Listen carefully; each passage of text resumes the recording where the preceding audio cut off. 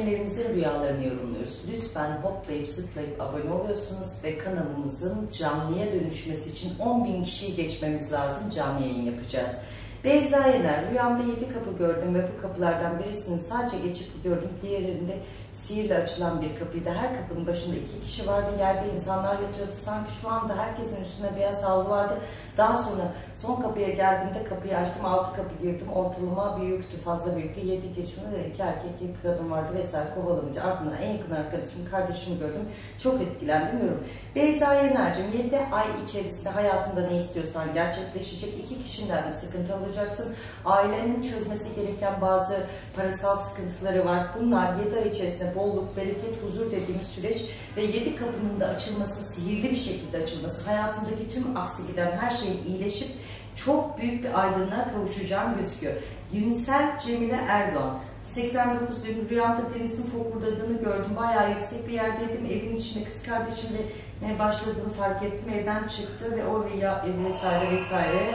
Annemin ayaklarını rahatsız edecek artık ya, almayacağım vesaire. Sizin de e, kendi hayatınızla ilgili çözmeniz gereken ve inançlarınızla ilgili noktada tüm kapılarınız açılıyor.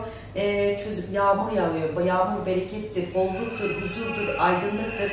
Siz ne istiyorsanız gerçekleşecek. Sadece kariyerinizle ilgili hedeflediğiniz bir nokta var. Bir de evlilik kapınızla ilgili korkularınız var. Hiç korkmayın diyorum. Memnune ikinci. Emine Hanım rüyamda yeni doğmuş bebeğin hastalandığını yağmurun altında hastaneye götür. Sizin inançlarınız çok yüksek ama yağmur evinizde Yasin, Fil suresi ve Ayetel Kürsü okumanız gerektiği göze geldiğiniz gözüküyor ve e, çocuklarınız ya da e, evlilik ya da anne babayla ilgili ne düşünüyorsanız gerçekleşecek. Mine Kara, Emine abla rüyamda çok güzel bir çiftlik evindeyim. Kahverengi bir at içeri giriyordu demiş. Bunu yolumlamıştık Emel Muftaoğlu'nu görüyorum. E, Gizemciğim sana doğumluyum Emine Hanım. Rüyamda deniz üstünde köprü var. Deniz dalgalı köprüden kayın, e, kaynımla elimden taşacaklar. Çocuk sevinciniz, erkek çocuk sevinci yaşayacaksınız. E, çok güzel bir eve geçiş yapacaksınız ve sizin için hayırlı olacak olarak gözüküyor bir tane. Evet rüyada at görmek nedir? Murattır. Deniz görmek nedir? Aydınlıktır. Ama her insanın rüyası kişiye uyar mı diye soruyorsanız herkesin rüyası herkese farklı yorumlanır. Evet bu haftalıkta rüya yorumumuz burada bu kadar sona erdi.